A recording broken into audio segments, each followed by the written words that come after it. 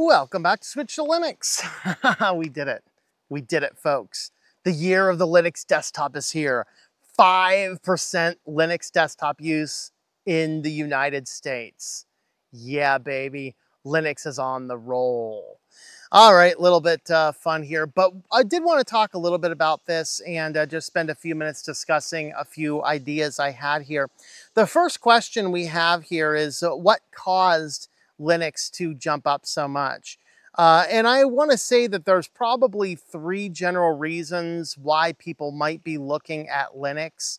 I think one of the early ones, now if we could get some statistics about the age of the people using Linux, that might tell us a little bit about this. But we have three significant things happening right now that I think could be driving this. One of these is the upcoming Windows 10 end of life. There have been not just my channel, but there have been some news articles circling around as well talking about the Windows 10 end of life circumstance and that Linux is a potential solution for some people to try. And since uh, I think it's estimated like, was it like 30 or 40% of Windows 10 computers right now cannot run Windows 11, but are otherwise still good functioning pieces of hardware that many people would be frustrated having to buy a new computer in this era. I mean, we have the tariffs are causing some things to go up. Of course, those will probably cause prices to spike right about the time you need a new computer. You have a lot of your, your big warnings coming on to your Windows computer. You have people are actually still buying more things on credit cards than they have in years past due to inflation, although that has come down a little bit, but not a whole lot. But I think some of it could very well be that Windows 10 will reach the end of life and not everybody wants to go out and run out and buy a new computer. Some people simply can't. And some people look at their budget and go, we can't afford groceries. You think I can go to the store and buy a new computer and you know the cheapest stuff i mean i've seen some computers in the stores recently for as little as three four hundred bucks those aren't necessarily very good. If you have a decent computer running Windows 10, I would not trade it in for a three or four hundred dollar Windows 11 computer just to get the minimum specs. And to get something that's even comparable, you're probably looking at uh, at a thousand dollars or so computer, which is problematic. Now, the second reason I think is PewDiePie. We cannot reject the fact that his two videos on Linux uh, and open source and DIY technology stuff. Those two videos in the last month, I actually I hadn't looked at the at the numbers in what three or four weeks since he did those. At that time, those two videos combined 60 million worldwide views. And so that's not a ton in terms of the population of the United States. It is a chunk. I mean, if all of that was United States, you know, that's like 10% or so. What's our current population? I don't know. But a large number of people potentially saw those. Now, if a lot of younger people, uh, younger than me, like maybe 20 somethings or so, are the ones experimenting with Linux now, we can probably say that might be the PewDiePie effect. I'm not sure. Now, the next one is people are genuinely getting frustrated with AI being pushed everywhere the big tech companies, if you listen to big tech companies and all the marketing and the advertising, you wouldn't believe that, you wouldn't think that, but it is true. It is very true. People are becoming frustrated with the AI being forced upon us at every single turn. And in light of that, I think that more people are coming out and they're just they're looking for something that is not going to attempt to automate everything because okay you turn on your computer you're already a little out of your comfort zone and then you want to sit there and you do something and your computer automatically does something for you. You're like, what just happened? And then you're like, I don't know what going on. And it causes a lot of people who are not your big tech enthusiasts are not super tech savvy, it causes them to sit down and go, I feel uncomfortable with this. So this is what big tech companies have to remember right now. You are making your user base uncomfortable. And the more you make them uncomfortable, the more problematic that is going to be. Now, there are a few issues with this. Let me actually cover my benefits first. I have some benefits first. The huge benefit of switching to Linux, Linux is getting easier. So I think that more people that are trying Linux are going to stick with Linux as long as they're trying a good mainline distribution. Now, there was that one Linux distribution for about three, two or three weeks, everyone was talking about this Microsoft engineer created this Linux distribution. It's amazing. Guys, it was hot garbage. Okay. And it was a single Chinese developer. Yes, who worked for Microsoft. Okay. It's a Chinese distribution by a single developer that did not do what it promised to do. It did not containerize apps like it promised to containerize apps. It did not have automatic updates like it promised to do automatic updates. Maybe he has some of those issues fixed. I'm not saying that's a horrible distribution. What I'm saying is as people are switching to Linux, if they're hearing more about one-man bands, they're going to get more frustrated because one-man bands tends to not work as well. There have been some exceptions. Feren OS is an excellent exception.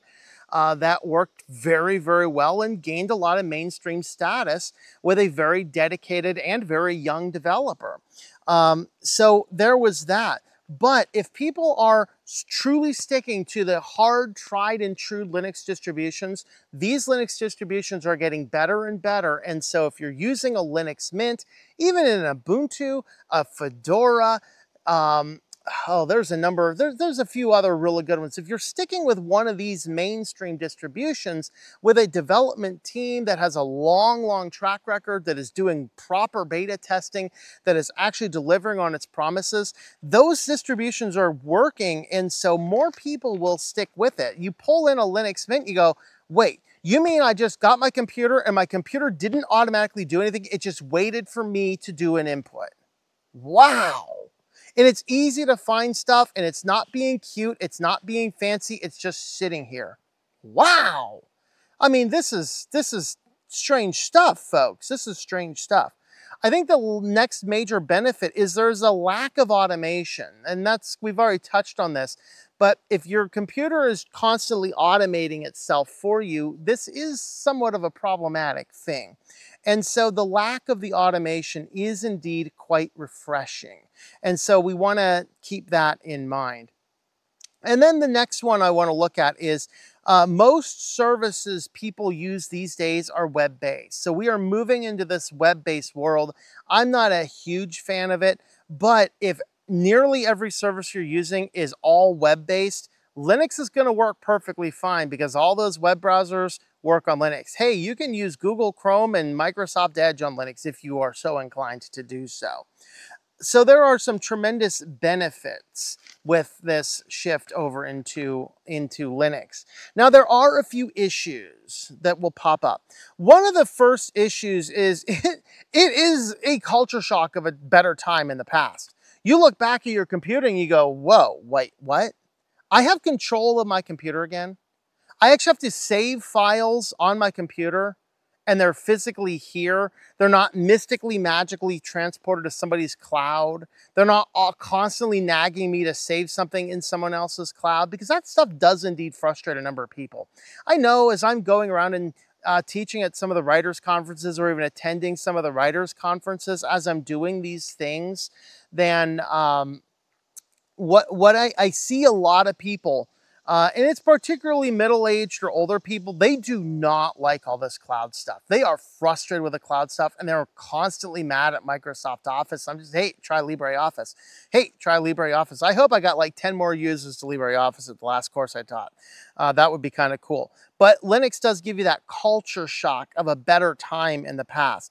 Now, some applications are going to need to change. You might have your favorite cool, cute little application you just can't use anymore. That can be a little bit of a problematic thing, so keep that in mind. Uh, so that is potentially one of the issues. You will have to get used to using files again and stuff like that. And the last issue is you may have to relearn controlling your computer. Some people have gotten so used to automation. So as I was working on this slideshow for camp this week and the, the chaplain's like, hey, can you use this one particular song? I'm like, I'll see if I can find it. And I couldn't find a way to, to actually get it even from online. And so I'm like, you know, can anybody get this? And, and nobody knows even what an MP3 is like. Oh, I finally got it. It's on my Apple Music now. I can get it to you if you have Apple Music. I, that's not going to help. It's not going to help. We need to relearn how to control our computers, relearn how to have all of access to all of our files. These are things that are important that we need to do.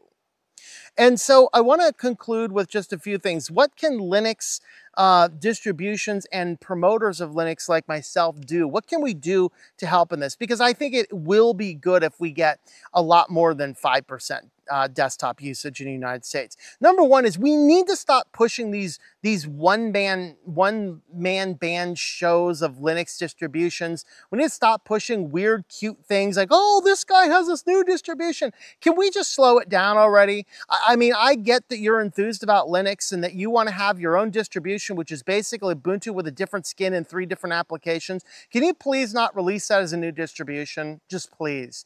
Um, I'm not saying I want only one distribution, but you know, we have like, I'd say we have 20 or 30 good distributions that are mainline that work well. I think that's probably good. Let's push the mainline distributions that work well and are well maintained and keep a larger user base behind those so we have more bug reports and uh, get more issues done. We have to push the mainline distributions that are better maintained. Next, we have to, to assure um, we have to assure proper beta testing that things go go well the way they are. In other words, uh, we're, I commented on this about, I don't know, five years ago. Ubuntu started to get bad when they stopped doing big releases around beta tests. And I think fewer people beta tested it. They got fewer notes back. And as a result, what ended up happening is that the distribution got worse and worse and worse. And we need to have a better beta testing platform in order to make sure that things do work well out of the box. The next thing is we need to keep talking about the growth of the Linux desktop. The more people learn about the Linux desktop, the more people are going to be inclined to use it. And this will actually work out best because if, if we have a, a large number of people using it, guess what? a certain, let's say 15, 20% of people start using Linux and let's say 90% of them are gamers, AAA titles are gonna port all those games over here and they're going to work and they're going to solve the anti-cheat issue on Linux.